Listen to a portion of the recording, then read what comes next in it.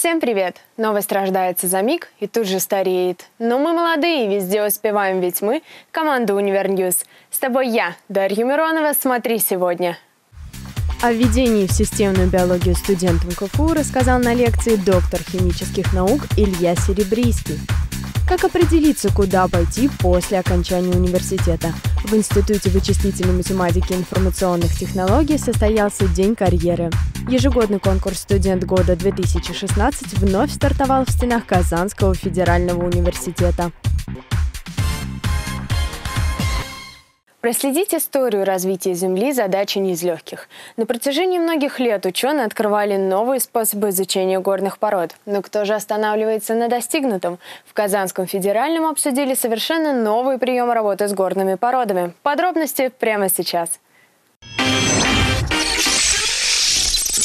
16 декабря в стенах Института геологии и нефтегазовых технологий КФУ состоялся семинар, тема которого затронула новые требования по согласованию планов развития горных работ и оформлению горно-отводной документации при разработке месторождений твердых полезных ископаемых и подземных вод.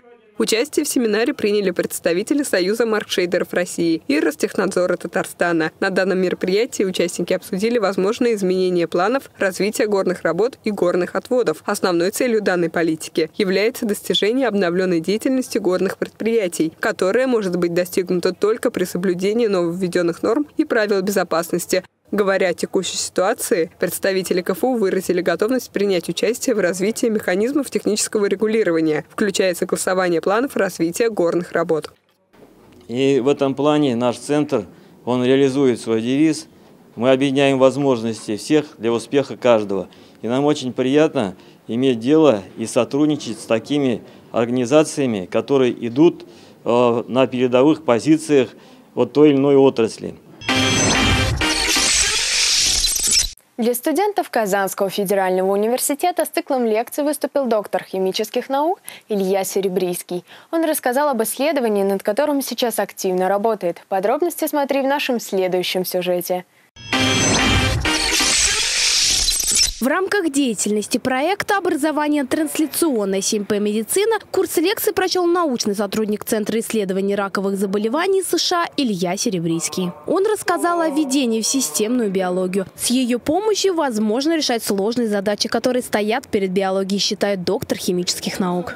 Это э, новая развивающаяся область науки, которая на самом деле скорее стык разных направлений между компьютерной наукой, собственно, биологией. Он является руководителем научно-исследовательской лаборатории Казанского университета «Молекулярные основы патогенеза опухолевых заболеваний». Работа в этой области ведется активная. Сотрудники занимаются изучением группы новых биомаркеров, то есть генов, которые способны предсказать ответ на лекарства, применяющихся в онкологии. Всегда есть группа больных, которым лекарства помогают лучше, каким-то не помогают хуже – Соответственно, э, хорошо было бы это знать заранее. Больным, которым лекарства помогают конкретно эти хуже, может быть, лучше сразу эти лекарства не давать, а сразу давать другие лекарства. А вот такие маркеры, по которым можно предсказать ответ больного, мы пытались определить и изучить. Лекции будут идти до конца этой недели, и посетить их сможет любой желающий. Анна Глазунова, Руслан Уразаев, Univer News. Наша команда собрала для тебя самые интересные новости из просторов интернета. Наша традиционная рубрика Web News. 19 декабря в Казанском государственном театре юного зрителя состоится новогодний праздник для детей из многодетных, приемных и неполных семей. Мероприятие пройдет в рамках городского проекта «Добрая Казань». 17 декабря в Казани пройдет открытый чемпионат и первенство города по УШУ. В соревнованиях примут участие более 70 спортсменов. В Казани наградили победителей конкурса сочинений о профессиях «Билет в будущее». Конкурс проводился среди учащихся 7 по 10 классов, два этапа по четырем номинациям. В финал прошли 124 работы учащихся. Победителями жюри объявило 17 человек. Кышбабай рассказал, что просит у него в подарок на Новый год. Желания самые разные, от помощи защитить кандидатскую до приглашения попариться вместе в бане. Пишут нашему зимнему дедушке со всех уголков планеты. Казанской мечети Кул-Шариф прошла церемония бракосочетания по исламским канонам молодой пары из Индонезии. В торжественной церемонии участвовали 25 человек. Жених и невеста, а также и гости столицы Индонезии Джакарты в Казань добирались в 18 часов на самолете. 15 декабря в Казанском торгово-развлекательном комплексе «Родина» начал работать Центр регистрации болельщиков на Кубок Конфедерации 2017 года. Жители Казани проголосовали за установку статуи «Конь страна» на улице Баумана. Голосование проходило с 14 ноября по 14 декабря на сайте Управления архитектуры и градостроительства Казани. В нем приняли участие 719 человек. Казанском Кремле проходит выставка забавных снеговиков и нарядных елочек. Каждый день вестибюль Музея естественной истории Татарстана пополняется новыми работами участников конкурса «Самый смешной снеговик» и альтернативная новогодняя елочка. 17 декабря в Казани состоится международный фестиваль мусульманской одежды. В рамках фестиваля состоится гала-показ, в котором впервые дизайнеры представят коллекции закрытых купальных костюмов для женщин всех возрастов. Казанский университет выступил примером успешной работы федерального вуза. Встреча под председательством министра образования и науки России Ольги Васильевой состоялась 14 декабря в здании Министерства образования и науки на улице Тверской в городе Москве. В жизни каждого человека наступает момент, когда ему нужно выбрать свою будущую профессию. Кто-то определился еще до поступления в ВУЗ, а кто-то размышляет об этом только после нескольких месяцев обучения в университете. В Институте вычислительной математики и информационных технологий КФУ прошел День карьеры. Хочешь узнать подробности? Тогда смотри прямо сейчас. Выбор профессии достаточно сложный вопрос, к которому стоит отнестись ответственно. А как современным студентам получить шанс оказаться в перспективной компании после окончания учебы? Казанский федеральный знает ответ. Так, 16 декабря Институт вычислительной математики и информационных технологий КФУ провел для своих студентов и выпускников День карьеры с тем, чтобы наши студенты познакомились с пожеланиями, с вакансиями, ну и, соответственно, понимали, что их время обучения в Институте вычислительных, вычислительной математики и информационных технологий э, не напрасно, а те знания, которые они приобретают, будут востребованы на рынке труда. Э, студенты могут э, привлекаться к работам компаний уже сейчас, будучи студентами, но не обязательно в, в качестве сотрудника. Это может быть взаимодействие на уровне выполнения курсовых проектов, курсовых работ, прохождения практик, э, выхода на выпускную квалификационную работу, на дипломное проектирование. Мероприятие прошло в формате выставки, в рамках которой представители IT-компании рассказали студентам и абитуриентам-выпускникам о возможностях трудоустройства, также участие в проектах компании и последующего карьерного роста. А каких сотрудников они хотят видеть в своих компаниях? На самом деле самое главное желание. Это у нас прям входной критерий, потому что, как у нас говорят, один мотивированный сотрудник стоит там трех-четырех немотивированных. Мы обращаем внимание, что именно э, студенты, и в том числе и в МИИТ, приходят такие заряженные, настроенные на работу. У нас э, достаточно много э, иностранных заказчиков, и поэтому вот знания в английском тоже являются плюсом.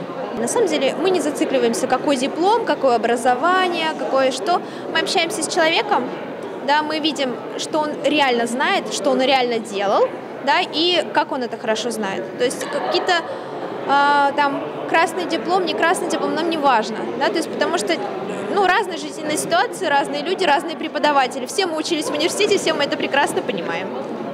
Студенты Института вычислительной математики, в свою очередь, с профессией определились сразу. Так, студентка третьего курса в своей будущей карьере хочет видеть не только рост по карьерной лестнице, но и развиваться как личность.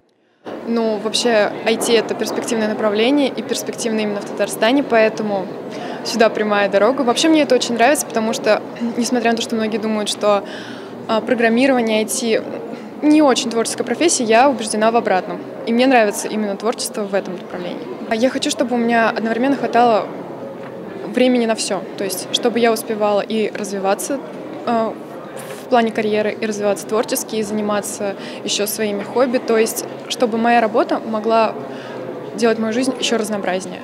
Елизавета Евтефеева, Ленар Давлетьяров, Univer News.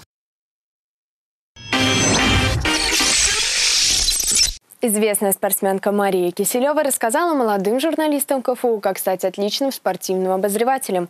Истинный секрет успеха выяснила Аделя Шамилова. Смотрим! Высшую школу журналистики и медиакоммуникации КФУ посетила известная синхронистка, трехкратная чемпионка Олимпийских игр, заслуженный мастер спорта и телеведущая Мария Киселева. В стенах высшей школы состоялась пресс-конференция, на которой гостья вуза поделилась с журналистами Казани интересными подробностями своего нового новогоднего шоу «Спасти северное сияние». Мы также соединяем в своих спектаклях воду, сушу и воздух. Мы также соединяем различные виды спорта и различные виды искусства. Мы привлекаем деток юных в этом спектакле. А, синхронное плавание, прыжки в воду, флайборд, цирк, хореография, драматические актеры. Все это будет обязательно. Встречу с известной спортсменкой и талантливой телеведущей не упустили и молодые журналисты Казанского университета. Ни для кого из них не секрет, что Мария Киселева много лет посвящает себя спортивной журналистике. Теперь она готова рассказать, в чем кроются рецепты успеха известных спортивных журналистов. Могу пожелать ребятам совмещать а, то, что те знания, которые они получат здесь, в этих а, замечательных а, аудиториях в этом университете вместе с тем опытом, который они будут приобретать на практике. И вот тогда сочетание знаний, а, опыта, желания идти вперед а, и не бояться ничего делать, учиться с нуля, а, вот это даст им возможность двигаться и широко шагать по тому направлению, которое они для себя выбрали. Аделя Шамилова, Роман Самарин, Univer News. Традиционно в декабре, подводя итоги уходящего года, наш университет объявляет и чествует своих лучших студентов, которые достойно представляли КФУ на конференциях и конкурсах, соревнованиях и фестивалях самого различного уровня. Таковым мероприятием в жизни университета является студент года, которое прошло уже в десятый раз. Как это было, смотрим в нашем следующем сюжете. Ежегодным итогом мероприятий в жизни Казанского федерального университета является конкурс «Студент года». Более 200 претендентов демонстрируют свои личные портфолио на суд жюри фестиваля, в которых показаны все достоинства номинанта в определенной номинации. Каждый желающий может поучаствовать в заочном туре конкурса и лишь лучшие проходят финал и являются участниками церемонии награждения, которая проходит в историческом зале университета. Мы с вами достаточно колоссально развили инфраструктуру, которая сегодня является одной из лучших в России.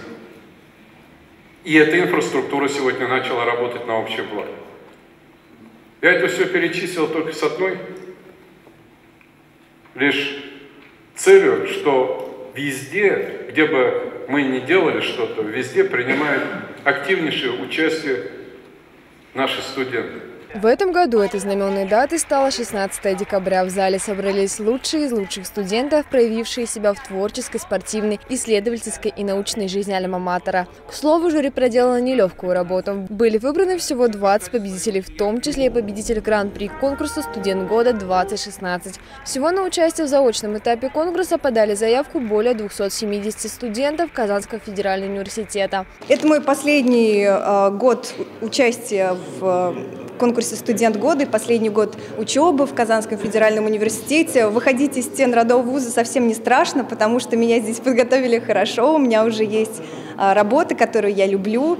А, в частности, я продолжаю работать в Казанском университете на студенческом телевидении КФУ, поэтому далеко от университета я все равно уходить не собираюсь. Более 70 лауреатов сидели в ожидании самого главного события этого года. Всего в номинации было заявлено три человека – Динар Валеев, Нафиса Резидинов и Динара Файсханова. Победителя Гран-при объявил ректор университета Ильшат Гафуров.